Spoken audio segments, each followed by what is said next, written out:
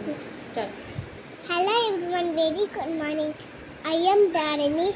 I am going to tell about factor zeros. Zeros are special number. This very important number in maths. If we add zeros to any number, in value changes.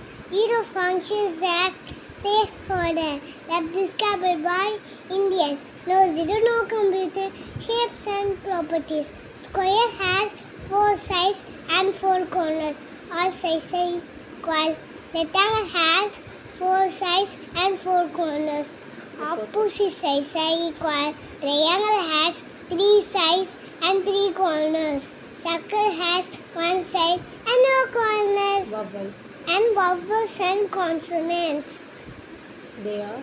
There are 26 letters in English. mm, Of the these, 21 letters are the consonants. consonants. Five letters. Five letters are vowels. Mm. They are. They are A, E, I, O, U. I am I am going to sing a song. A, E,